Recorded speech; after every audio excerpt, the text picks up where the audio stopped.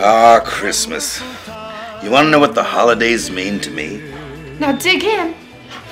Don't have to tell me twice. This looks so good.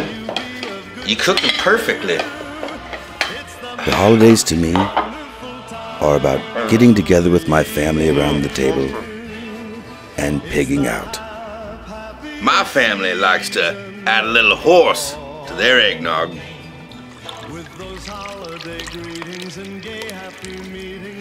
I know Riley's gonna love this present. Yeah, but that's a little too tucked in. Mm, no, I think it should be over here.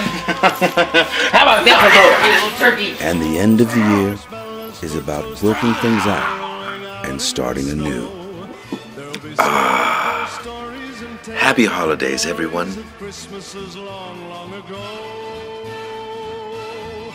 It's the most wonderful.